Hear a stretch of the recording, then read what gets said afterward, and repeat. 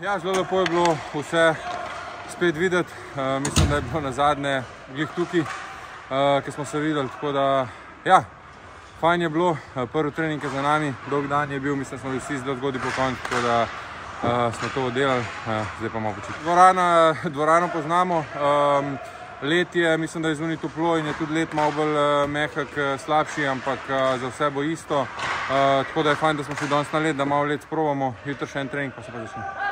Um, ja, je bil kar naporen dan, um, dolga pot nas je čakala, ampak imamo še dva dni um, do začetka, do prve tekme. Tako da mislim, uh, da imamo zadosti ča, uh, časa, da se privadimo na let in na vse te uh, stvari tukaj okoli.